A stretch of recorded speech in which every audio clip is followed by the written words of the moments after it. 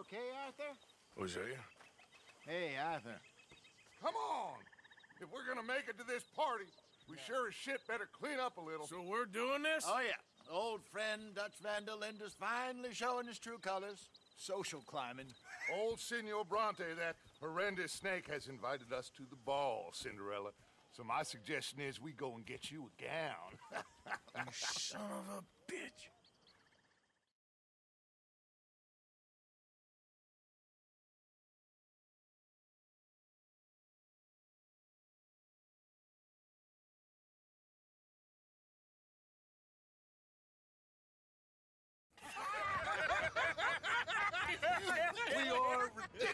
ridiculous. Utterly. I ain't never been to a ball in my life. Nor have I, if I am being honest. I used to quite often. There can be fine pickings. No, no, no, no, no pickpocketing. We are here to make real contact. What kind of contact? Well, I don't know. We'll find what we can. All I know for sure is we are going to a party at the mayor's house, and the guest of honor is the worst crook in town. I'm sure that we will find something. Okay.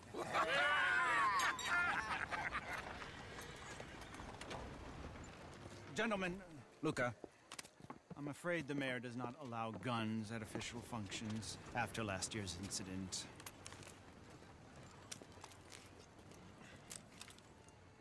Luca here will take you to Mr. Bronte. I believe he is expecting you. Follow me, gentlemen.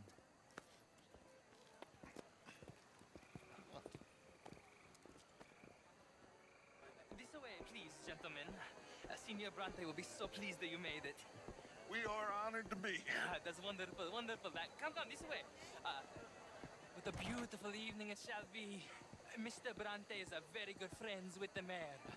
Good evening, Pierre. Senor Napoli? Uh, As long as the mayor behaves himself, you know. Uh, Mr. Bronte, he has a that thing, you know, respect. Hosea, Bill, you join the party. We'll meet you out back after we pay our respects to Senor Bronte. Come, come.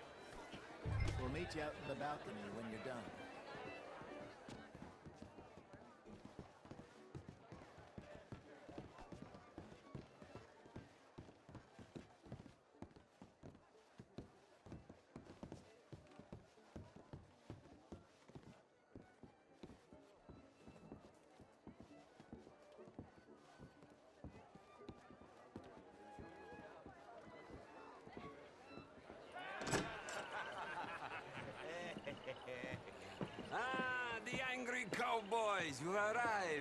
And you've washed per la prima volta questo mese, senza eh, dubbio. Oh. This is quite a party you've invited us to. yes, quite something. Although I'm not quite sure what. So, this is Saint Denis High Society. yes, apparently so. And all these people, th- these are friends of yours, Senor Bronte. No, no, no, not quite, not quite. But they certainly are afraid of me. Like that one. See that wretch? He's the mayor. Henri Lemieux. He'll do anything for a dollar, and I mean anything. Politics is a foul business. Oh, and that one too. That is Alberto Fussar. He owns a sugar plantation out on the island, and he comes here to whore and despoil himself. oh, oh, and that, that is Hobart Crawley, a Confederate major in the war, and a hero, they say, but that is his, his very young wife. I mean, a young mistress, that's the natural order of things, yes, but a young wife is unseemly. Oh, oh, the Redskins. I have no sympathy for them, because whoever is stupid enough to get tricked by the Americans, no, they get what they deserve, huh? yes, and a letter to the mayor. Oh, yeah, that'll save you. and that that is Hector Fellows, mm. This self-righteous newspaper man. Maybe, maybe you will kill him for me one day. Well, we're not paid killers as such, not in cold blood anyway. I did not know you were so particular that uh, you wouldn't help a friend. Oh, I'm willing to help in any way I can, uh, within reason. I'm going to pretend to understand what that means. I meant no offense, sir. Ah, none taken. None taken. All these vulgar people. They hate me. non vedo l'ora di guardarti morire. Well, uh, it has been wonderful conversing with you, but I can tell that you are very busy, and I won't waste any more of your time. yes, yes, yes. Go, enjoy yourselves, and mingle with this vulgar scum. It'll make you long for the days when you could shoot each other and screw cows out on the open range. Those sure were the days. Good day, gentlemen. Mm, good day to you. But before you go, what uh, exactly are your plans here? But we've not made any. Well, we, we are going to need some money. Money, yes, of course. But there's, there's money at the trolley station. They keep a lot of cash there in the day. Now, I could not involve myself in such uh, matters. But you, pff, as a guest, yes, as my guest, bah, do it, huh? okay, good day, gentlemen. Goodbye. Ok, ragazzi, adesso il vino buono.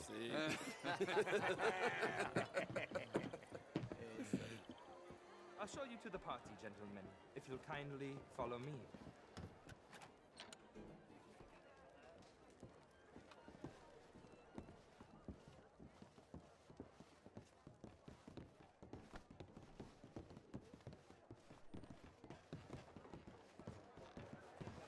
Gentlemen, enjoy your evening and welcome once again to Saint Denis. Ciao, ciao. Gentlemen, let's go ingratiate ourselves.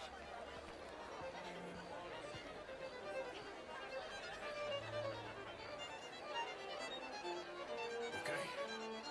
Go find the mayor if you can and stay out of trouble and steal nothing unless it's information. Of course. Hosea, you go find us someplace to rob.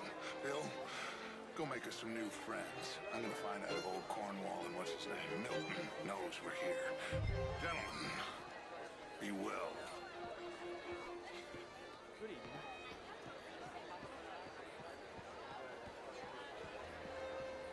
Have a lovely evening. I mean, modern art is all very well, but my daughter could do better. Would you like some champagne? Of course. Thank you, sir. You are quite the gentleman. Clearly not from this swampy hellhole. Thank you. Thank you. Ladies, I'll see you next week.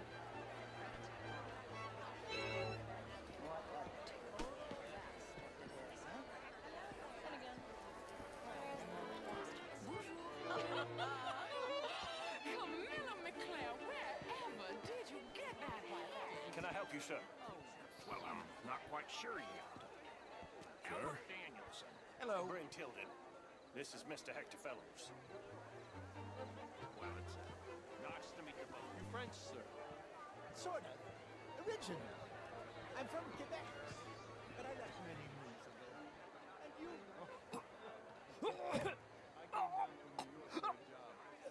I'm a banker. A banker. An investment. You okay? My lord! The pesky nut! What a way to go, eh? Oh, thank you, sir. Oh, yes. Oh, thank you. Uh, Algernon West. Maple syrup. Champagne, sir? represent 20, well, more like 23% of all the trade heading south from Quebec into the U.S. Who do you bank with? You shall be too, sir, if you don't sharpen up your morality. I'm trying, sir. I'm trying. I'm trying hard. Watch. I will go find some other people to Really is. Beautiful hair. Hmm. I got it from Mr. Wasp. He's the finest milliner in the state and quite the most interesting purveyor of the exotic. But don't tell anyone, sir. The women here are all desperate to know. Mr. Lemieux, I suggested that all of us as Americans Evening, folks. take care of people Oh. in this land. Hello. And that extends to Saint Denis. I've had better days, that's for sure. Good day, sir. How are you all doing? How do you do? How was the show? I heard you went. outrageous. These dancers. Well, uh, if that's French culture for you, sign me up for French lessons. Guilt because of more sins? Oh, would you like tickets? What? This cabaret show at the Theater Ramua. It's jolly fun. And in the heads of the intellectuals. Oh, sure. Thank you very much. My pleasure. Good evening. well,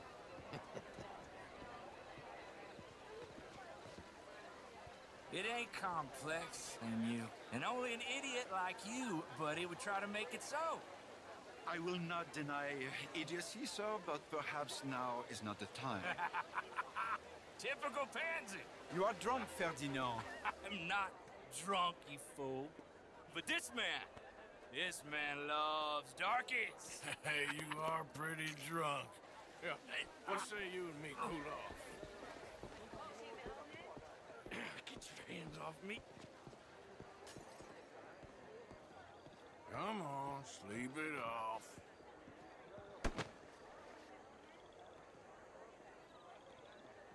Sit down and calm down.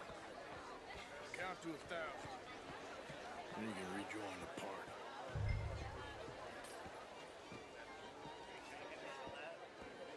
Thank you, sir. My pleasure. Henri Lemieux. I hope you're enjoying my party. The mayor. Allegedly. There's quite a place you got here. it's not mine, and the city is horribly in debt, but we can still put on a good show. Do you know Evelyn Miller? My lord. The writer? Well, we seem to have another deranged drunkard on our hands. Shall we? Oh, oh, oh. my lord, they're fantastic.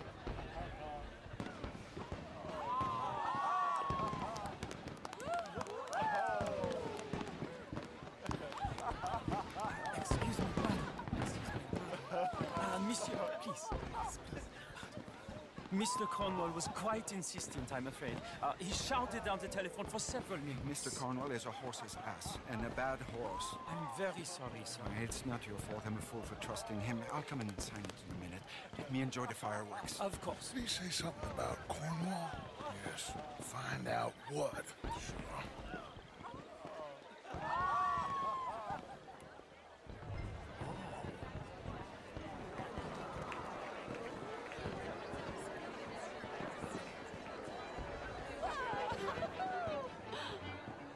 How do you do? Why don't you just back?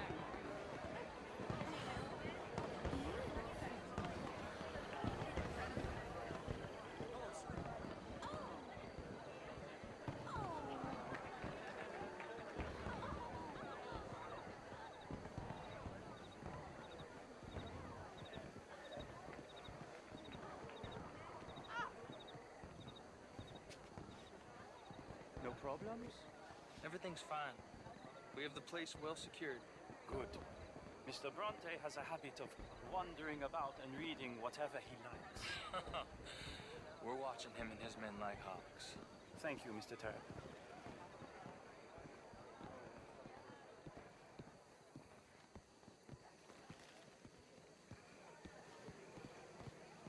Hey! Is everything taken care? The telephone, it keeps ringing. The mayor said he will sign later.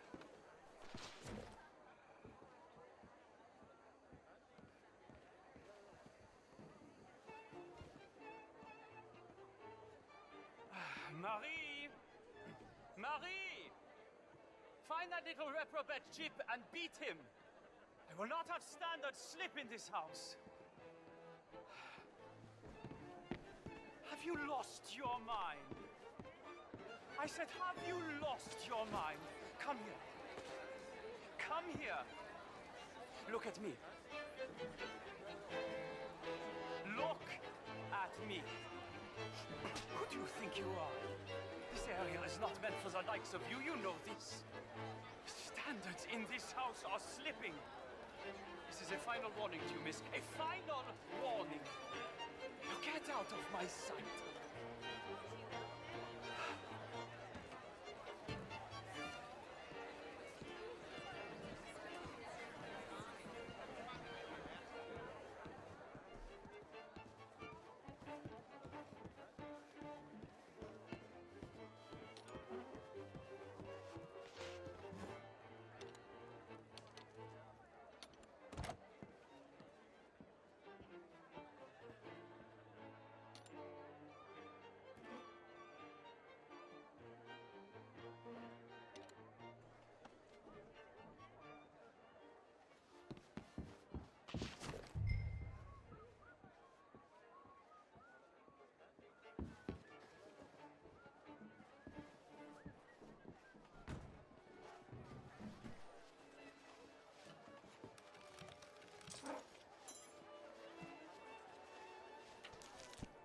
Leviticus Cornwall.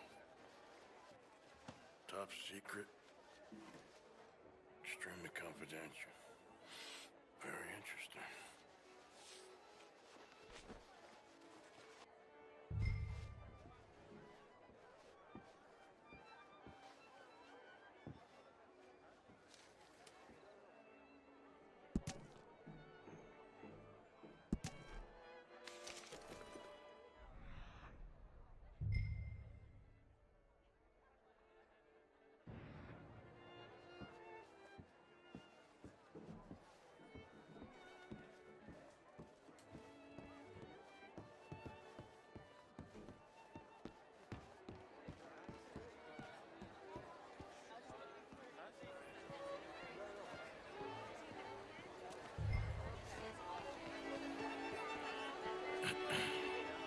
Find anything?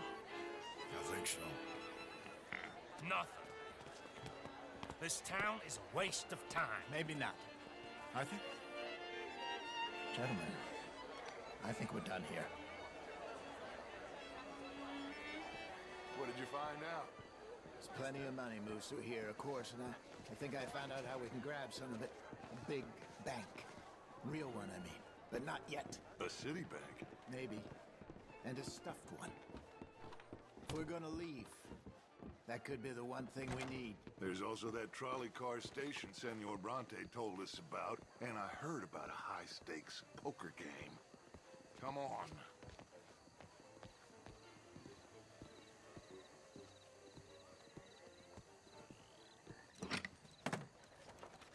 Here comes Lenny.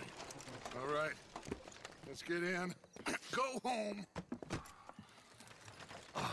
I ain't never felt so awkward in all my life. All them folk all so pleased with themselves. Oh, high society's pigeon shit. If you ask me, it's more like torture. Well, that's sort of the point, isn't it? Let the people torture themselves. Here's them papers I took. Anybody see you take this? I don't think so. Hmm. I might have an idea. Let me think on it.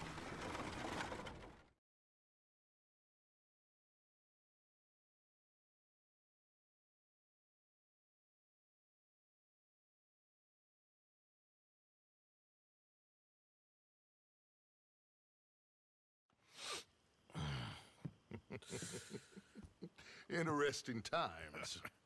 I guess. So what's next? Dancing lessons? Deportment? More along the lines of armed robbery. Hosea is handling reconnaissance on the bank. He and Abigail are gonna run some distractions, see how the law react. Good. Oh, and I spoke to Evelyn Miller. Fine man. Here helping the Indian chief we saw. Yeah, I met him too, with the mayor. He's lobbying officials in Saint Denis on their behalf. Maybe we could help. Maybe. Now, I think there's a lot of money on the riverboat. A lot of money. And Trelawney, he's investigating for us. He says to meet him at the Taylors. Okay. One big score down here, Arthur, and we disappear. We are almost heading home. Where is home? I don't know. Exactly. But I can smell it. I'm gonna go investigate this trolley thing old Bronte was talking about. Okay.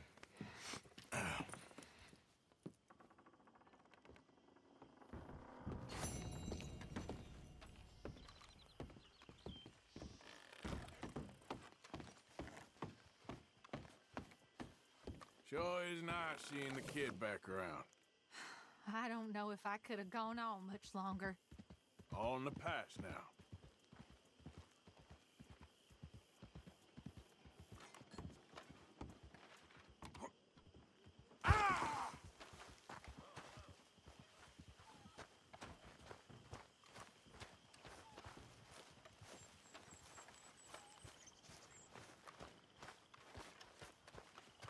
How have you been, Arthur?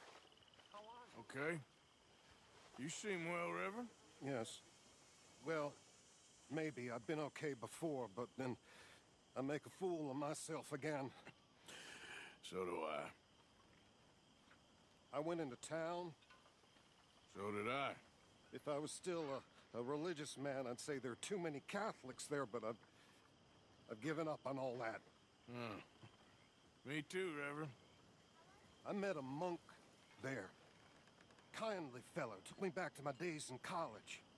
Is there any purpose to this conversation, Reverend? Not really, but he said the strangest things about all manner of bad things happening in town.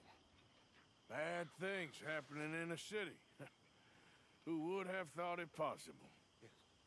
Well, maybe if you're there, you could have a chat with him. He's hanging about outside the marketplace collecting alms for the poor. Sounds thrilling.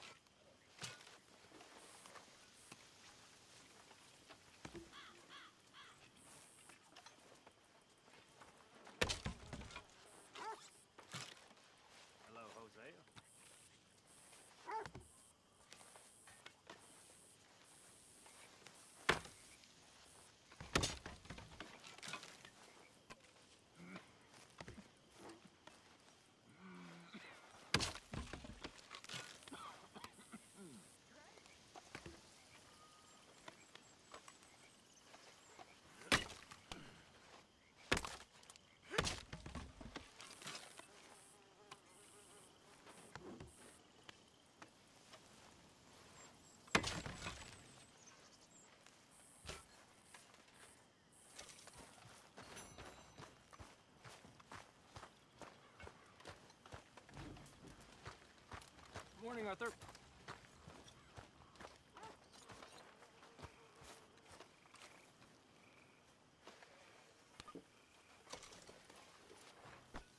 You been on the rum again? Whiskey kind of morning. Good morning, Arthur. Good morning, Arthur.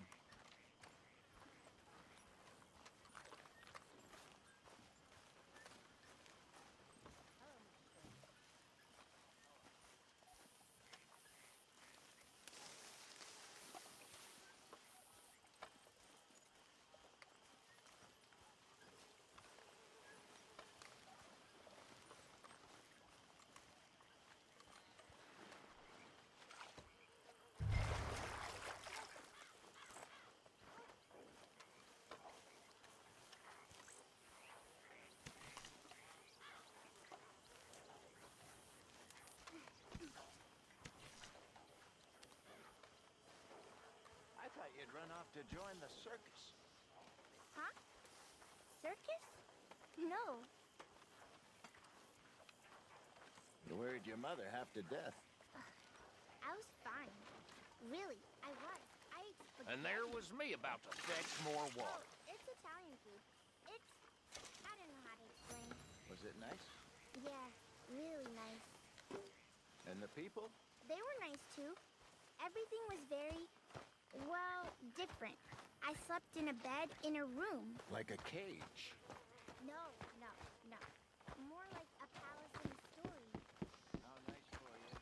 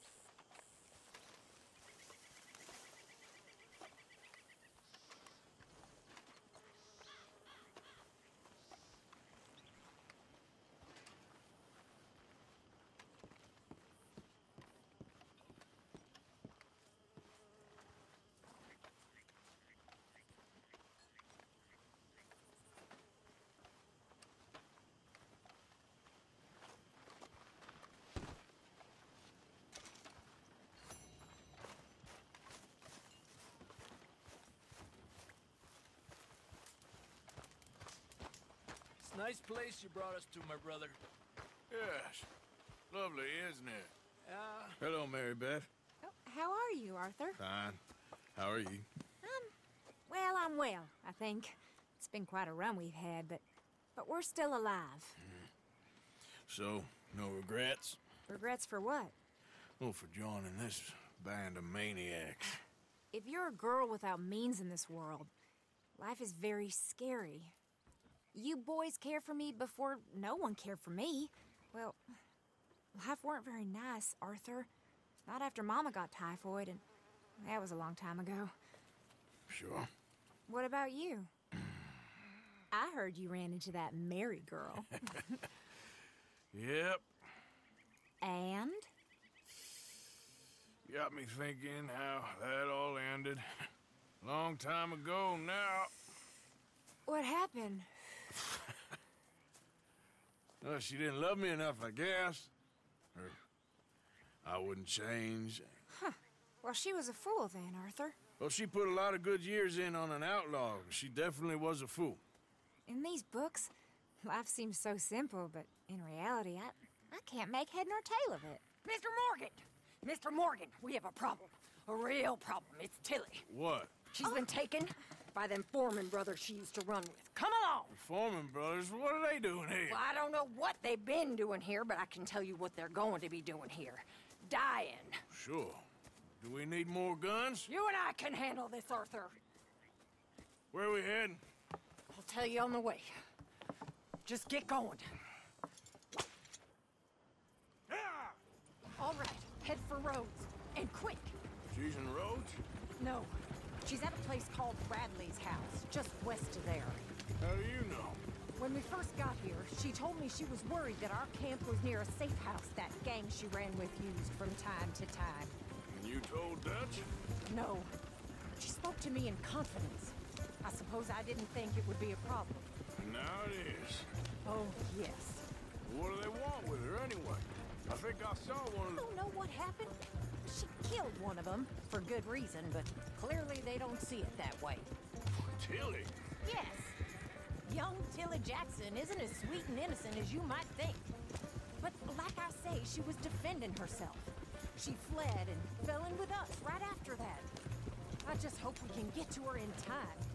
It's not too far. If they've touched a single hair on that girl's head, I will eviscerate the sons of bitches. See? You do care, Miss Grimshaw. Of course I care. About all of you fools. Some just require a firmer hand than others. You especially. Okay, I think that's the place up ahead. Yeah. I think there's a guard. I'll deal with him. Whoa. What you want? Kind sir, we're locked and in need of some help. Now get out of here. Oh, I see that kindly face of yours. And I know. I said I'd deal with Anyway, just get in there and find Tilly.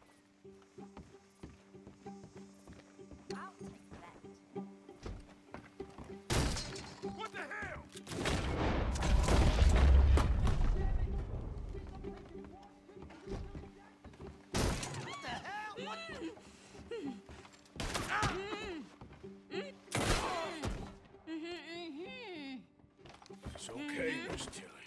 Now, let's get you mm-hmm. out of here. I thought there was. I. Yeah, it don't matter what you thought. It's okay. All right, let's go. Oh, come along, miss. Thank you, both of you. What happened? It was Anthony Foreman. He thinks he owns me. I remember. Where is he? He went out hunting or something. There were five of them, I think. Well, we killed those fellas there. There they are. Come on. Tilly, grab that gun!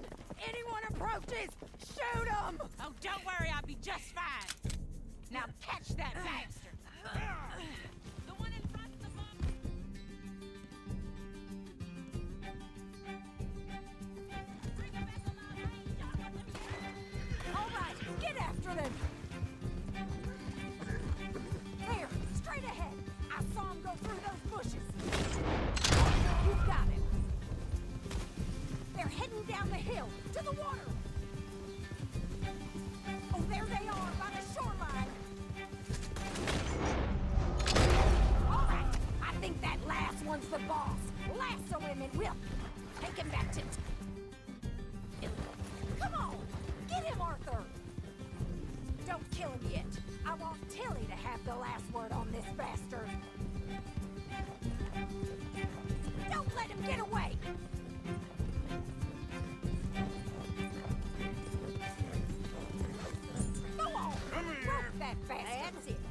make sure you tie him up real good.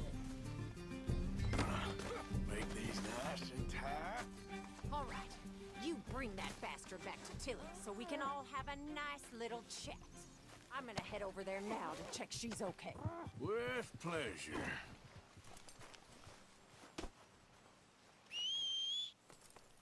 Damn. Step. You have the first idea what you're getting into. I'm Anthony Foreman. Well, thanks for the introduction, Anthony. Is that Foreman with an A? I want the Undertaker to spell it right. Funny bastard. Who are you running with? She didn't tell you? She didn't tell me nothing. Ah, This rope is cutting into me. Don't feel so good when you're the one tied up, does it? She killed my goddamn cousin. Oh. All right. Here's your man. Bring him here. Put him on the ground here. I want to get a good look at this monster. So he's still alive then? Ah. Yes. You see this girl? You leave her alone. She killed my cousin. Your goddamn cousin had it coming, Anthony Foreman! I don't care if she shot your daddy and cooked your mama for breakfast. She's mine. She ate yours. You know, a friend of mine, he always says, revenge is a fool's game. Now, you want all your boys dead? She had her reasons. We was family, Tilly Jackson. You Foreman boys ain't no kind of family I want. Kill him, Arthur. You want that? I want him to go away and tell the remaining of his cousins and the clowns he rides with to leave me alone. Now, you think you can do that, Anthony? Or should I slit your throat and just save us all the bother? I'll leave you alone. History is done. History is never done. It's your call, Arthur. But I'd slit his throat. Go on. Finish the bastard off. Sadly, I agree with you. Sorry, partner. We can't take no chances with the likes of you. Yeah!